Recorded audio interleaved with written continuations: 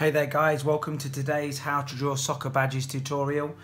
In today's video I'm going to be drawing the Real Madrid badge. I'm using my Sharpie pen here. I'm going to start with a circle. I'm going to move the paper slightly whilst drawing this circle just so that I can get the circle as accurate as as possible. Uh, these Sharpie pens do tend to bleed into the paper so make sure that you are keeping this pen moving as as fluently and as freely as you can just to avoid any unwanted patches on the paper, any splodges of ink. Now if I wanted to do this absolutely perfect I'd probably use a compass or I'd draw around something to get this absolutely perfect but as it goes I'm not too bad at doing freehand circles. So we've got another we've got another circle that's going to come in in between or inside this one here. So I'm just marking out a couple of points there just so that I keep it the same the same thickness throughout so that we're not getting an irregular size uh, to this edge or this rim, whatever you want to call it. If this is the first time you've seen one of my videos, thank you very much for watching. Go and subscribe, hit the notifications button, uh, and that way you'll be kept up to date with everything that I'm doing. I'm doing daily videos at the minute. So um, this is my series of uh, football and soccer badges, which has been really enjoyable. Uh, I did my last one was the Liverpool badge. That was really really difficult. That was that was very complicated, a, a lot of detail in there. Uh, so go and watch that. That's uh, that turned out really well. I'm really happy with how that turned out. Uh, I've also done some cartoon work, so some Pokemon things like that. Okay, so we're going to find a midpoint now. So about halfway in the circle and about two thirds of the way up. I'm just going to put a dot and one below it. Okay. So what we have here now is we have a V shape coming up there and that's got a rounded top to it. And then underneath I'm going to come up level almost with this. So another V shape.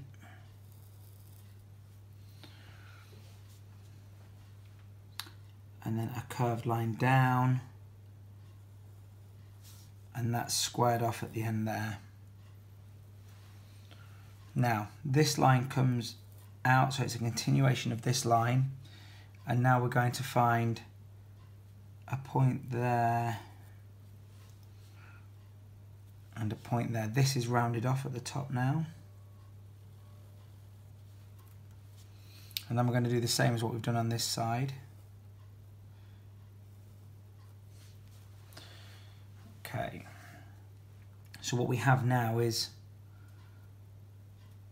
another circle, a smaller circle that's coming around, or it's, it's almost a full circle, it, it's broken around the bottom here uh, by another letter, it looks like an F to me, so we're going to continue this line around here.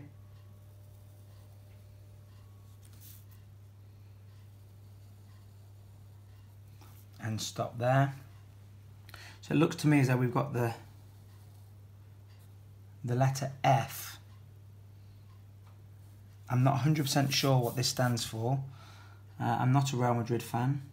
So if there's any of you out there that are and you, you know what this means, why there's the letter F in the centre of this, I'd love to know. So drop me a comment or get hold of me on Facebook or Instagram or the website which is ihowtodraw.com. That's the letter I. Uh, and this line's curved up and around here now. So it looks like we've got a C in the centre.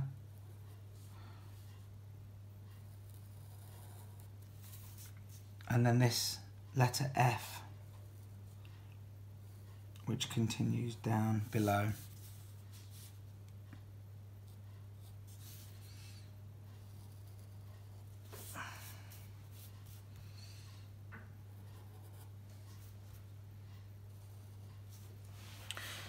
Okay, so we've got two arms that come around now, so two semicircular shaped arms that come down and around.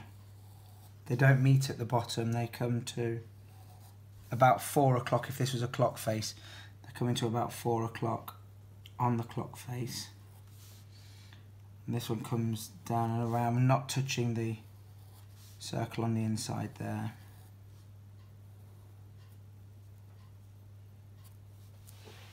And we're going to do the same on this side.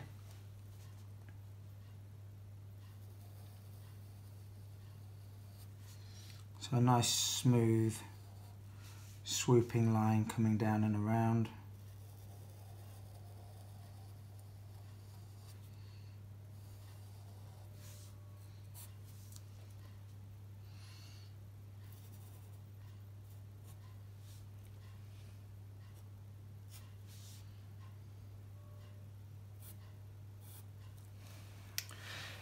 Okay, what we now have is we have a diagonal line coming down and through all the way to the bottom and it comes down to here. So this is all blocked out black uh, and I'll do that towards the end. I'll time lapse that. Uh, what we've got now is we've got a crown on the top. So there's a uh, there's a curved line coming across here down and round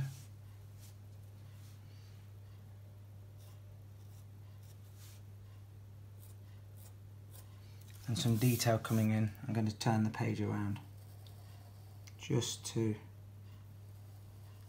allow me to use my best stroke. So what we have now is we have, I guess these are some sort of jewels, jewels that are in the crown, some circular shapes, some diamond shapes that are coming across this ridge there and there. And then we have the crown which comes right up to the top. So I'm going to find a midpoint here and here. These come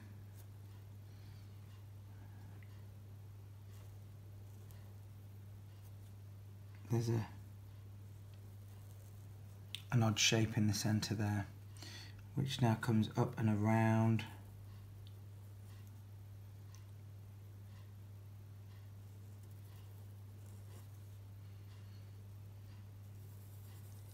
and up and joins back up at the top. So we're going to mirror this again now.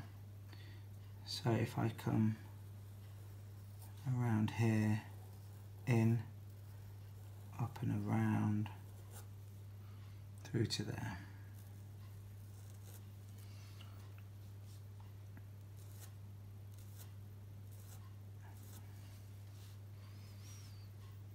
So we have some details coming in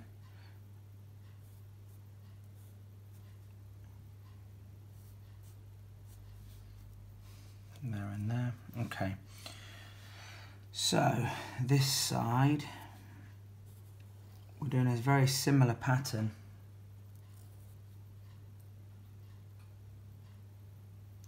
to what we had in the middle.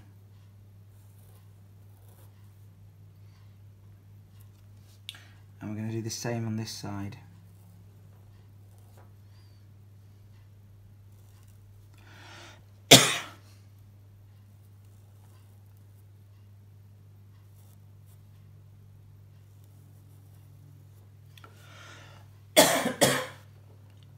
Excuse me.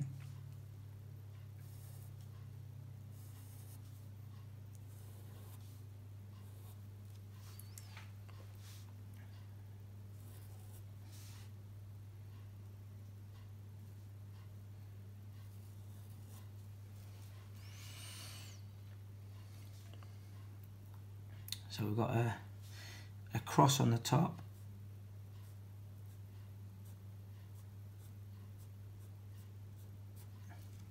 And then coming down from here, we're going to have some, again, I guess they're jewels, jewels.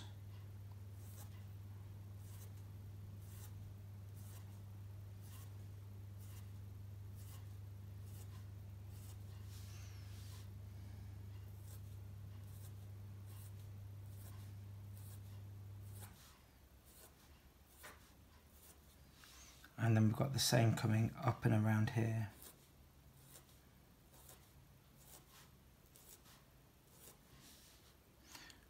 same here.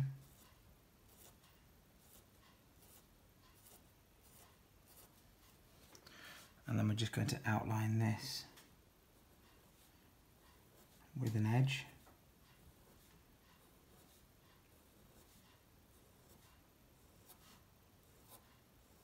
semicircular lines.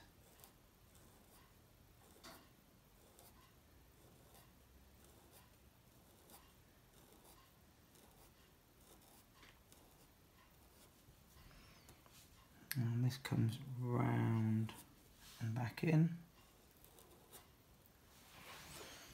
Just one or two more details here and then I'm just going to time lapse the rest where I'm just going to colour in this black portion in the centre we're not too far away from completion.